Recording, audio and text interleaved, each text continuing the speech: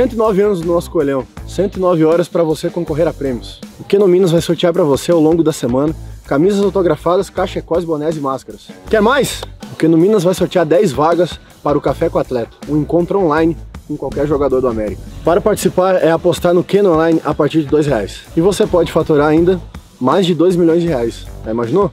É só acessar kenominas.com.br barra América. Gostou?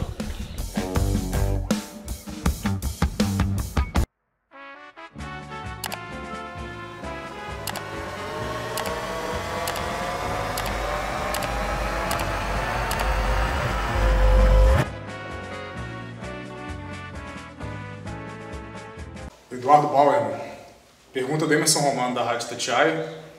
Um adversário que o América já enfrentou nessa competição, mas agora num contexto diferente.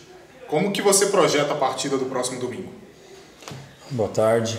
É, nós sabemos da, da importância desse jogo e, e, sabemos que ele é um jogo diferente por, é, por ser a semifinal do campeonato e ainda mais um clássico. Então, acho que é muito importante nesse momento nós sabemos trabalhar o mental também, e porque no campo nós estamos muito bem preparados, estamos sendo muito bem treinados. E o grupo vem focado nisso, sabendo da dificuldade do jogo, mas nós estamos preparados para enfrentar o Cruzeiro nesse, nesses dois jogos da semifinal. E tenho certeza que a gente vai uh, sair dali com bons resultados e fazendo bons jogos. Outra pergunta do Romano. O América tem a vantagem na semifinal, mas como não cair na armadilha de se acomodar com isso? Bom, para não, gente não cair nessa armadilha, é mais a gente não pensar nessa vantagem e jogar o nosso jogo, que é o que nós viemos fazendo nesses últimos jogos aí, conseguindo impor melhor o nosso ritmo, a nossa maneira de jogar, é, diversificando também a nossa maneira tática. Então, a melhor maneira de não cair nessa armadilha é não pensar nessa vantagem, sim jogar o jogo. Pergunta do Paulo Galvão, do jornal Estado de Minas. Qual deve ser a postura do América nesse primeiro clássico das semifinais? Ir para cima, tentar ampliar essa vantagem ou ser mais cauteloso justamente por ter essa vantagem de jogar por dois empates, por exemplo? É, então, é como eu falei, a gente não, não vai pensar na vantagem nesse primeiro momento, porque nós estamos preparados para jogar o jogo, independente se tem vantagem ou não. Claro que é muito importante ter essa vantagem. É, então, mas nós vamos entrar focado justamente para fazer o nosso jogo e já tentar resolver sem precisar da vantagem.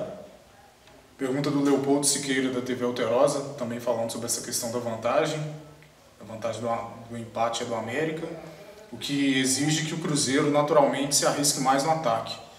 Como a defesa americana está se preparando para enfrentar atacantes experientes, como, por exemplo, Rafael Sobes, o Potker?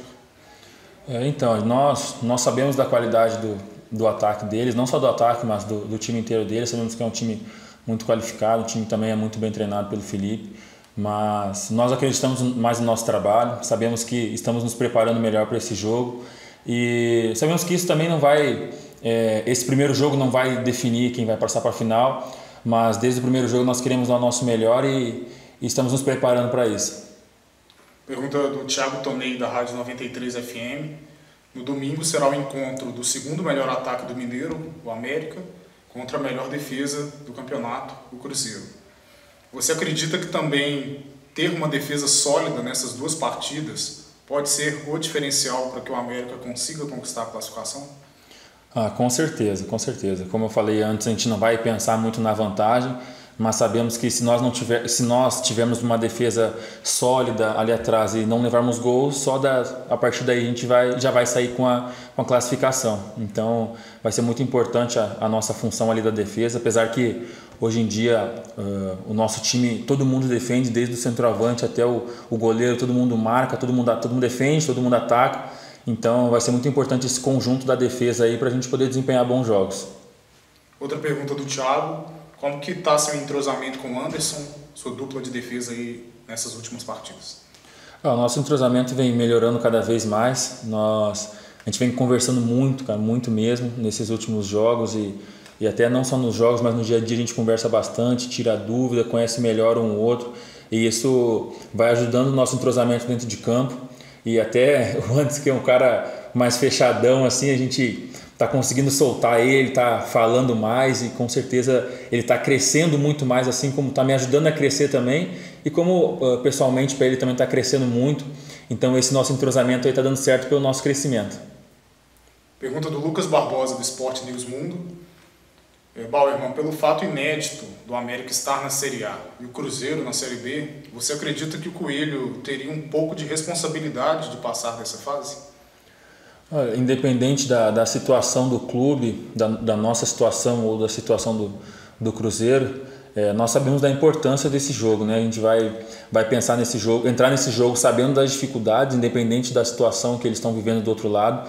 Sabemos que cada jogo é um jogo e nós vivemos isso no, no próprio Campeonato Mineiro, mas agora é, é, diferente, é semifinal. Sabemos que depois desses dois jogos somente um vai passar, diferente da fase de grupos, né, onde tinha chance para se recuperar durante o campeonato, mas agora não. São dois jogos, independente da situação, a gente vai é, entrar focado e, e ciente daquilo que nós queremos fazer dentro de campo.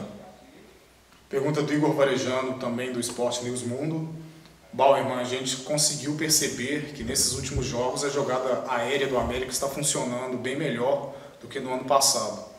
Isso até gera, quem sabe, uma expectativa de que você volte a marcar um gol decisivo contra o Cruzeiro? Cara, seria muito importante né, se, eu, se eu conseguisse fazer um gol novamente, mas acima desse, desse meu gol, vamos se dizer, é, tem um time todo trabalhando ali para a gente poder sair com um bom resultado, independente de quem vá fazer o gol ou não. Nosso time está, como tu falou, está evoluindo, evoluindo bem na questão da bola parada. E independente de, de quem faça o gol ou de quem crie essa oportunidade, o importante é nós uh, mantivermos esse, uh, mantermos esse, esse crescimento que uma hora vai, vai começar a sair mais gols também. Para fechar, Bauerman, pergunta do Lucas Britas do Super Esportes.